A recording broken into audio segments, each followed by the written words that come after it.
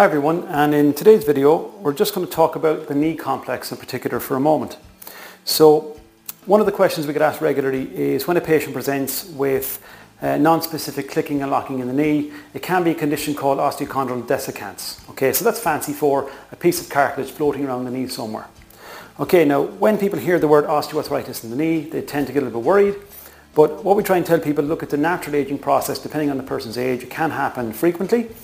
But bear in mind when they say this, um, try to investigate your own report, but have a professional, uh, trained professional review the report for you. But what's most common that we find is that it's patellar chondromalacia, which means the back aspect of the patella, which lives inside the tendon, is usually too tight inside the trochlear groove.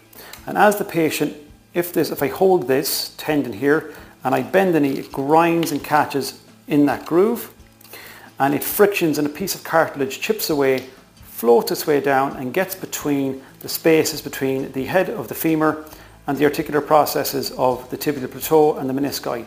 So it's kind of non-specific clicking and locking. It presents just like a meniscal injury, but it's non-specific as opposed to specific.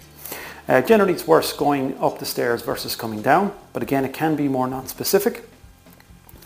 And the reason it's important to note that it can be this structure because the anatomy of the knee is a little bit different than some or most other joints. We have a combination of four bones. So we have our fibula, tibia, we have our patella and our femur.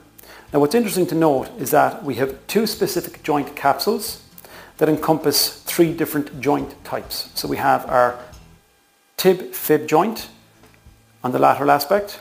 We have, and then we have our femorotibial joint and our femoropatellar joint. Now what's interesting is that our femoropatellar joint and our femorotibial joint are encompassed in the same joint capsule. Okay, so that's important because if this gets injured, it can affect the combination of bones below, whereas if this one gets injured, it won't affect this joint in here.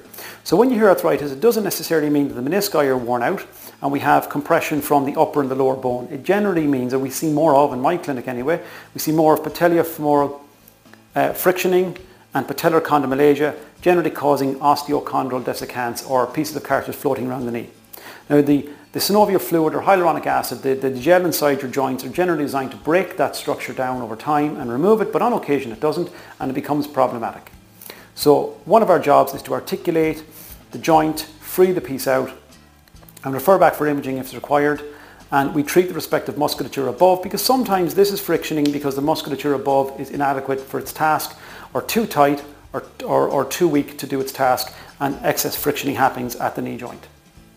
So that's one possible cause. There are more, but that's one possible cause of um, patellofemoral arthritis or patellar chondromalacia causing osteochondral dissecans. Thanks for watching.